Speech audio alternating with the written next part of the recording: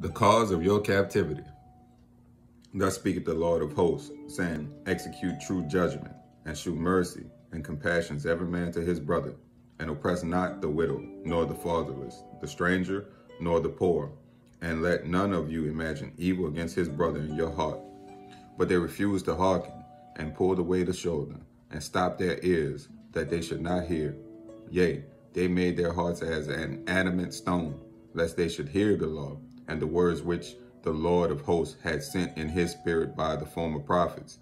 Therefore came a great wrath from the Lord of hosts. Therefore it is come to pass that as he cried, and they would not hear, so they cried, and I would not hear, said the Lord of hosts. But I scattered them with a whirlwind among all the nations, whom they knew not. Thus the land was desolate after them, that no man passed through nor returned, for they laid the pleasant land desolate.